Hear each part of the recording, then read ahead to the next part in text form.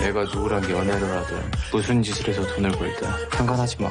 너나 나나 이미 망가질 만큼 망가졌잖아. 언니, 제 스폰 데이비드 아니야? 아직까진 데이비 타나지. 데이비드한테 끌려다니는 거 기분 더럽지 않아요?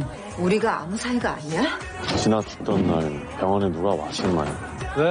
말 돌려 안 할게. 지나 죽던 날 CCTV. 한채린 씨 안 만났으면 이춘자 일에 엮이지도 않고 인생이 꽈배기처럼 꼬이지도 않았겠죠. 그렇게 스폰서 버리고 어린 놈 욕심 내니까 이 사단이 나는 거 아니야? 아버지가 가만히 둘 것 같아. 더 다치기 전에 빨리 빠져. 내가 말했지.